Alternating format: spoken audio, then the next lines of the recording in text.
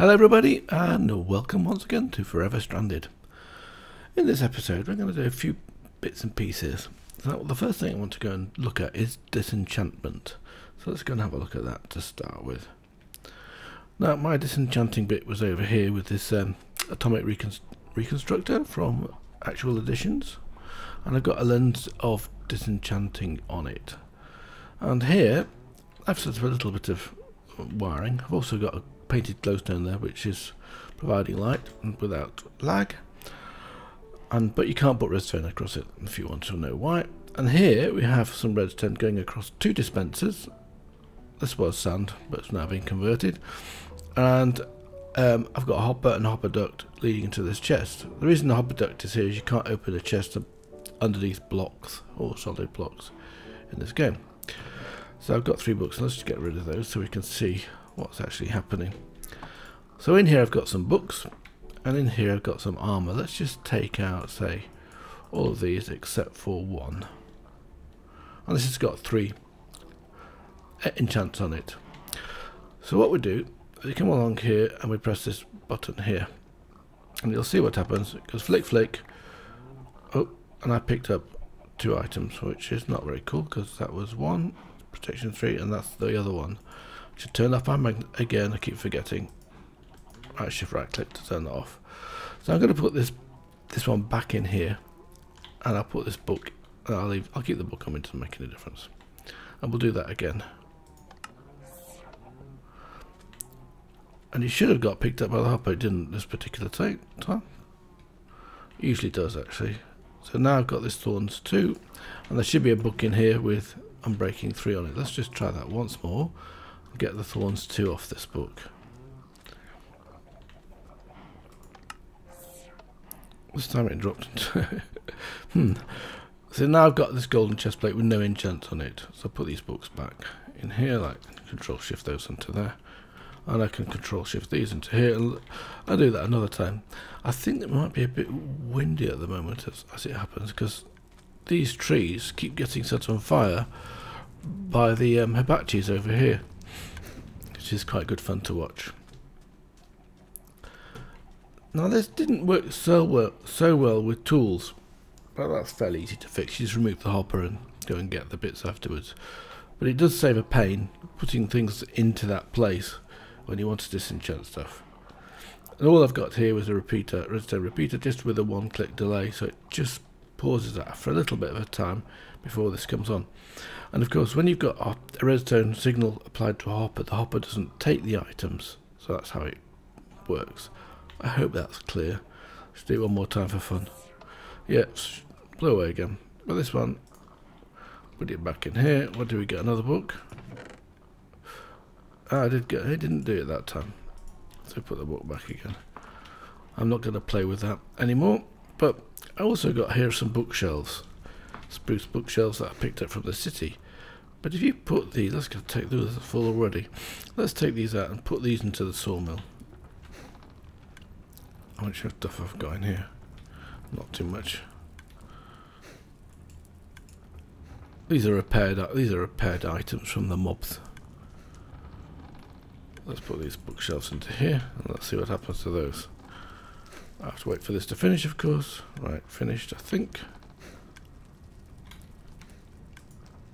Not go down. Let's try that, putting those directly in. I can't put them in. I wonder if that's because they're spruce bookshelves as opposed to ordinary bookshelves. Let's have a quick look at the usage of those. I can make magic wood out of them. Well, actually, that's probably what I think that's why I actually had them, in fact. I can use them as fuel, as steam dynamo. Okay. Can I chisel them into ordinary bookshelves? No, it doesn't look like I can. Let's just get some bookshelves out anyway. Because I've got plenty of bookshelves.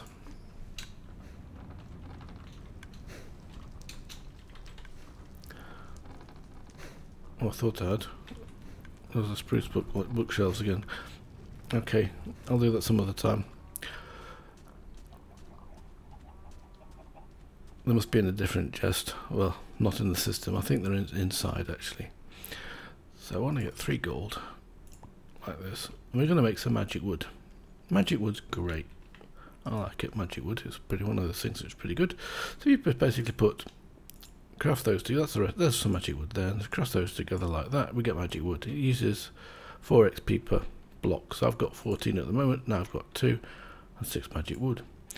What you can do with these, I think it's one of these patterns. Let's have a look. Is it like this? Just try that. Yes, and you get a boomerang from extra utilities, which I've got already with Bladerang 5 on it.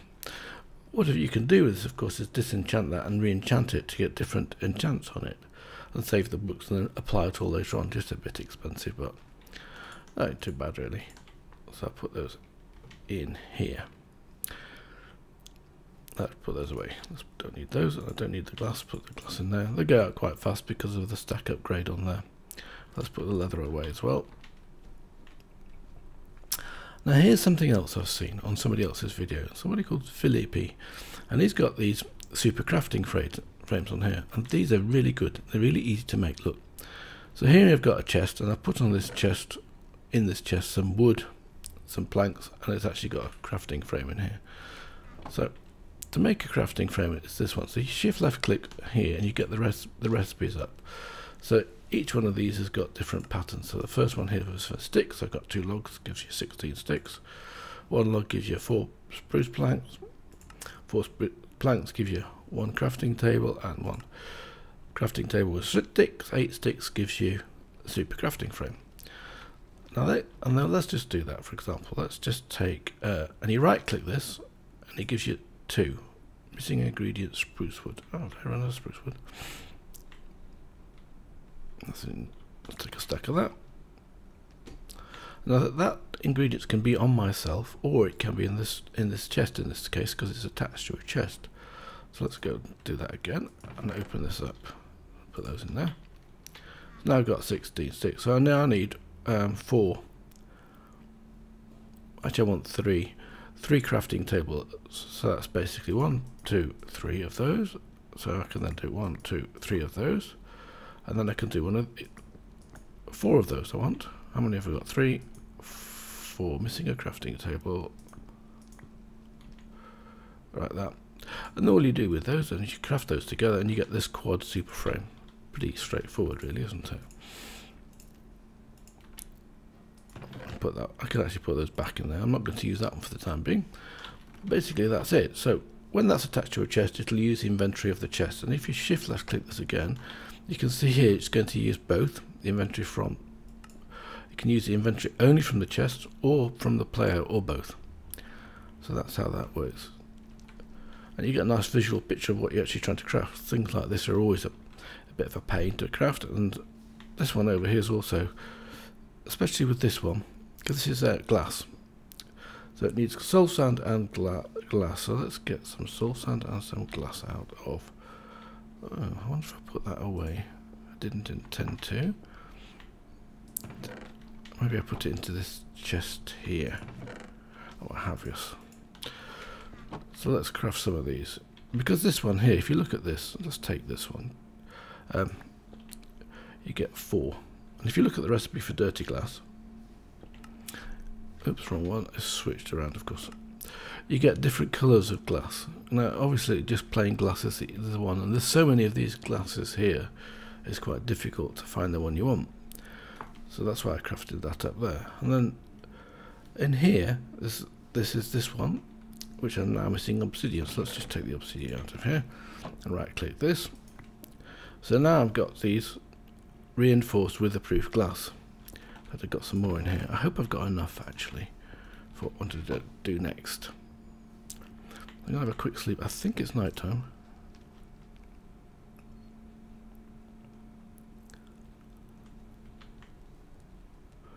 And what I'm going to do is have a look at... Oh, look at that. I managed to grow one of those chorus fruit seeds from sieving um, endstone, or gra end gra endstone gravel, I think it is. And that will actually pop in a while, and we'll get lots of chorus plants from that. Now here, I upgraded the things there. And this is actually the design done by Mech LSD for its witherproof. And what happened is when I upgraded this and started this the game today, all, all the reinforced glass blocks had disappeared.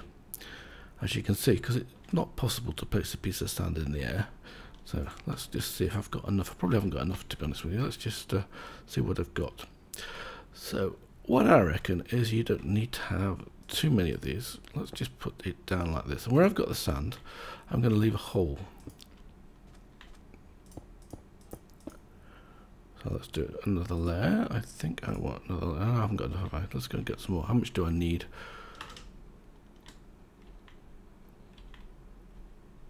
Well, it's roughly about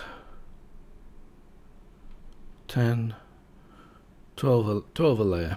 And we need three layers, so make about 20, 30 or something like that. Because we need some stuff for the top as well, I think.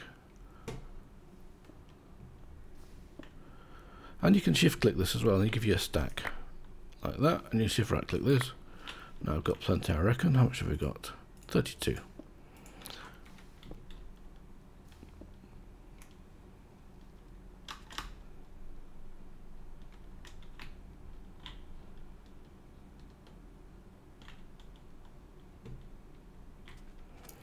So let's finish this off. But when I when I upgraded and these have disappeared, I thought they'd been removed, but they haven't been removed from the pack. So let's finish this off around here like that. I need one there.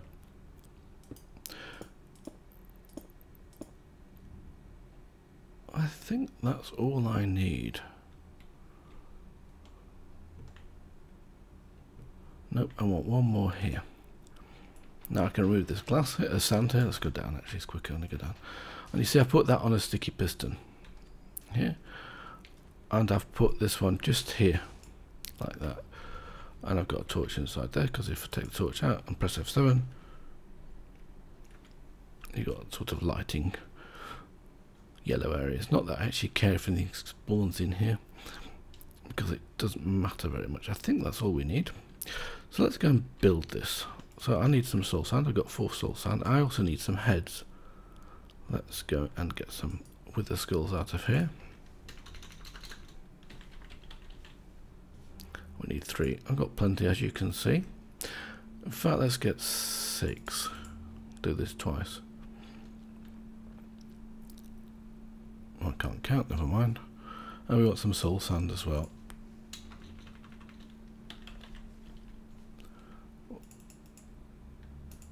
Four.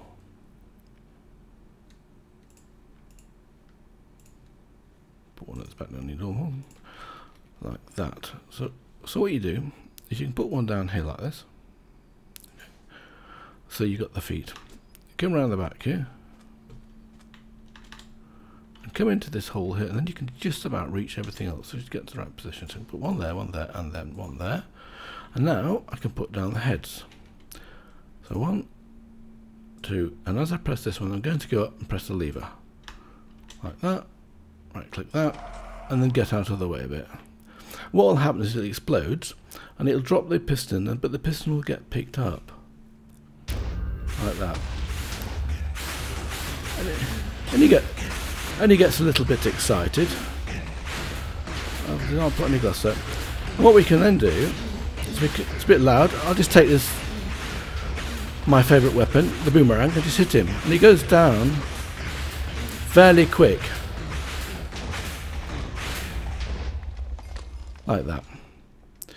Did I not put any glass underneath there? That was a bit daft, wasn't it? Let's just do that before I forget. Didn't do too much damage as it happens. Oops.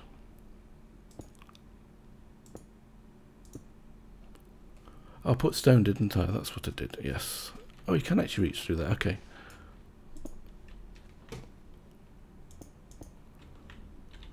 Right, now I don't think you can. I've got still got a bit more, bit more glass, and the sand will have been picked up in here like this. And I got a wither star, and I've got some other bits and pieces. Let's put the sand in here. Put the sand back. In fact, I should have done it. Oh, I see. I see. Can't reach all. He can't reach the corners. That's what it was.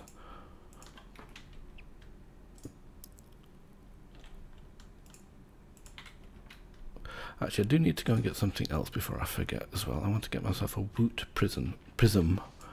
I'll take this one out.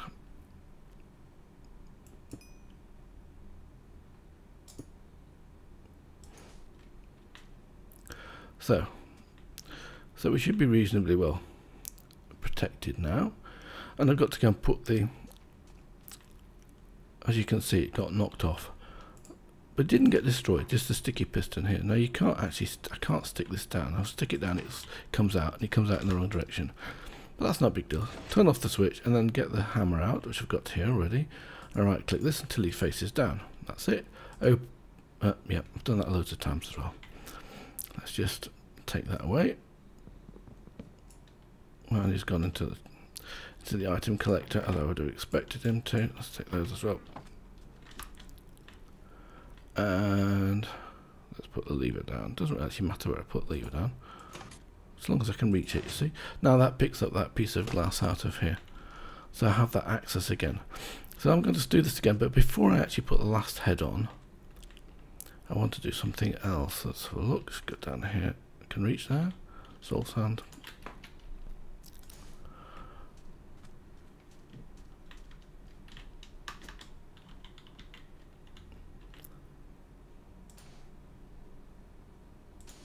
Oh, missed that one. There we go. Let's just put two of the heads down. And then get the... I want to get the Woot prism. Because it's not a big deal doing this. But I haven't done anything with Woot yet. I thought about it, then I go, well, I don't need Ender Pearls, so I don't need Endermen. I've got enough Endermen heads. I don't need blazes because we've got blaze powders and you can turn those into blaze rods. And the rest of them are getting ground out there. That was a bit of luck. Um, what did I want? Yes, the Woot. I think Woot is in one of these. Wrong one. There we go. I've got a mob prism here. That'll do fine. So let's go and finish him off.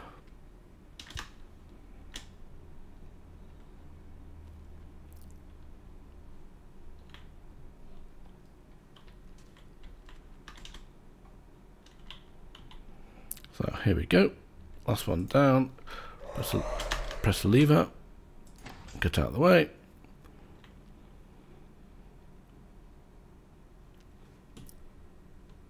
There he goes. So this time I should be able to attack him.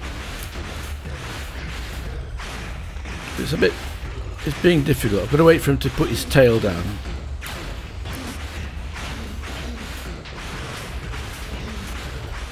Come on, put your tail down so I can get you. You what we'll do, hit you like that.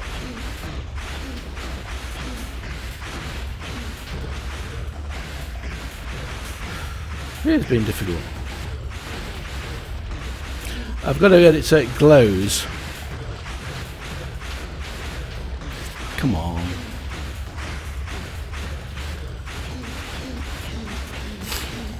Can I cut it? Tell you what. Oh, I know what I have to do. Move one block further forward. Now I should be able to get with this.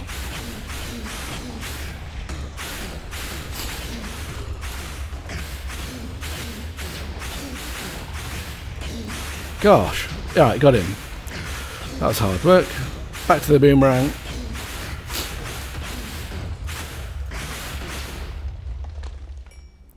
Oh, that was noisy. Oh, actually, it does knock a few more corn. No, it's okay. So everything's just fine, I think. Oh, I know it's knocked out the corner block, so I have to put a full layer underneath there. Okay, no big deal.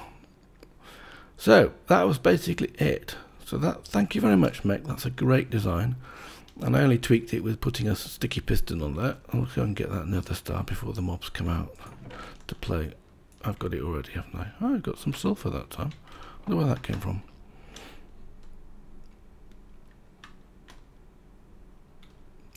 Now the last thing I've been doing, oh I think I wanted to show today, was immersive engineering. See here I've got lots of powered lamps now from immersive engineering. And there's two things about this that's interesting. One is instead of using um, these wooden ones, these wooden posts with the uh, treated wood, which is a bit of a pain. I've started to make aluminium ones like this. Now the reason for that is it's got tons of aluminium, no shortage of it at all. And see they go all around the base now, so I shouldn't get mobs spawning inside. Doesn't mean I'm not. But also on here I've put another one. This time I created a floodlight.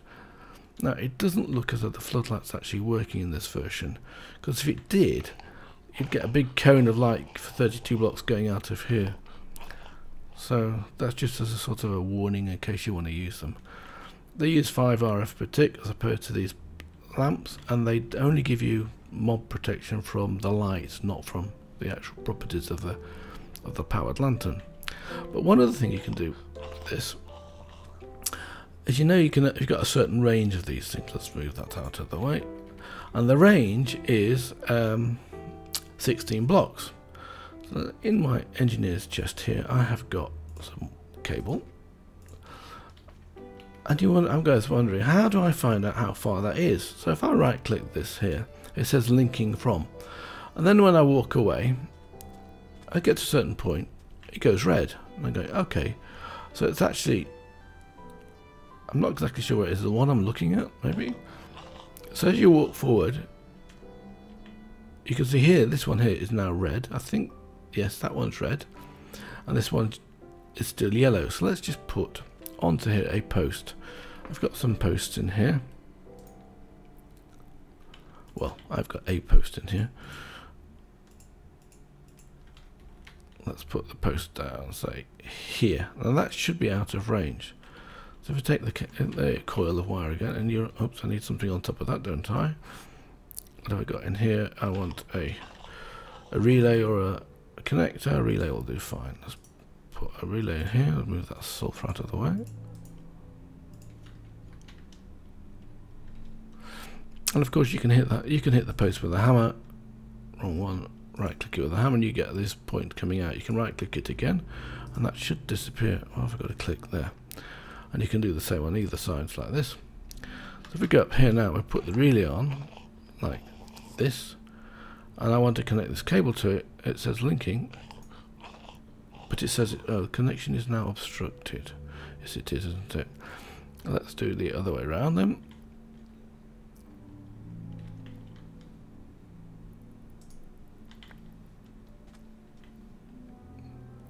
Uh, hopefully the connection isn't obstructed. Now it gets a yellow line on top of that, but that's a really big deal. You can also put it underneath by just simply right clicking underneath. So if you've got a yellow line, you can simply put a torch on the top here. Like that. Get to the right place. And that disappears. Let's try again. I think so it says now it's linking and I'm probably out of range. Yes, I think you're too far away. So we try it again and move this a bit nearer this time. So that was too far away as we sort of saw as you come here. So we can move that, just hit it. You get the bits back. Well, I will because I've not got my magnet on. Oops. Put the magnet back on again. So that was that square. And this square here is the one it should work in. So let's try that one.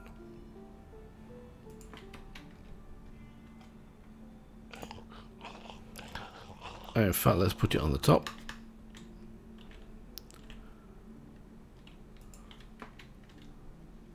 Like that. And then this time it should link. Oops connections and where did he come from? I really need to find that out. Maybe with a bit of luck I shall see that in a replay.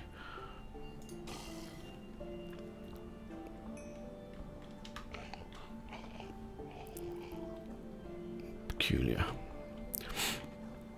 Right, so this connection is still obstructed, but that's how you do it anyway. So it wasn't saying it's too far away this time, it's just obstructed. So,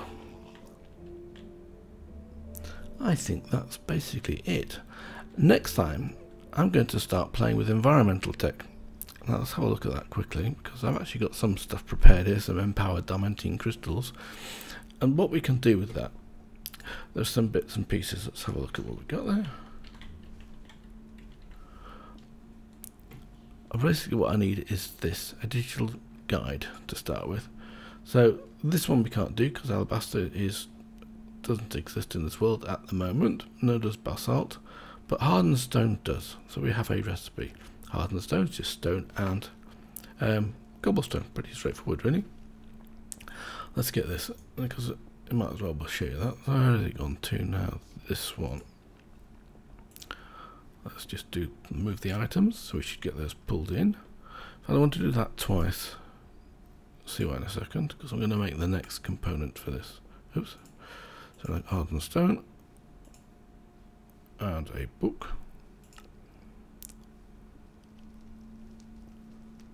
Did I do that wrong? I did, didn't I?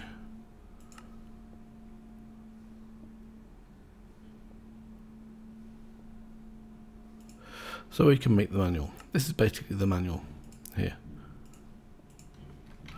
So you can right click this and you can see what you get. So now I get an educated, I've got educated, that's great. And you can make these solar arrays. Now these solar arrays are multi-blocks things and they generate around about, for the first level tier, this one, generates over a thousand RF per tick. So I'm going to do that because it's pretty smart. As you says, peak energy here, 600 48. That one's 3,600. Sorry, so six, 650 RF per tick, thereabouts, is pretty good. And it's not even that big. In fact, it told you how big it was, and that wasn't it? How much big was it? So it's a 5 by 2 by 5 structure. So it's 5 by 5 with 2 high. That's pretty small. And this one is the same, 7 by 7 by by too high, so that's not too bad either. And then after that, let's go back. Actually, I want to have a look at this void ore miner. This one here, does it tell you what it's going to a large amount of energy cut? We need, yes, we're going to get large amounts of energy. Okay, and does it tell us what we're going to get out of here? I was hoping it would tell us what it's going to get out of here. But there's two types. You get a, more, a resource miner and an ore miner. And they produce, one produces ores and the other one produces things like basalt and alabaster, alabaster and stuff like that. Now the next item I want to produce is this one. You need two. It's this one assembler. So the assembler is two obsidian and a hardened stone structure because we can't do alabaster structures or basalt structures, but we can do this. So we need a tier 1, which is basically that. So let's have a look, move those items. Do that again. So we need this, first of all we need this one, let's do that. So that's got that one, and next one. I think this is really quite nice, this tool actually. I mean, the index, so it's, it's pretty good for stuff like this. It's not great in all cases, but for this it's brilliant. So let's get the next one. We need the tier 2, which is basically diamonds and redstone, which I should have plenty of. They come in. Where's it gone to? There we are. That one. So we now got the tier 2. And then we can make this assembler, which is a bit like the engineer's hammer. There we go, ready to assemble. So that's it. So next, you basically, you create one of these cores. So basically you got a void core. I'm going to first of all create the solar panel controller. And then it tells you what you need to put down. So we need to make lots of blocks. So I shall be busy and do that for next time. So until then, I'm going to go outside and see how that chorus plant's doing. Pretty cool, isn't it? Let's have a look at that from behind. Ew, can't see it so well when I'm too near. Let's go backwards and see. Maybe I can do it, see it better there. Oops, I'm a bit low down. Okay, that's it.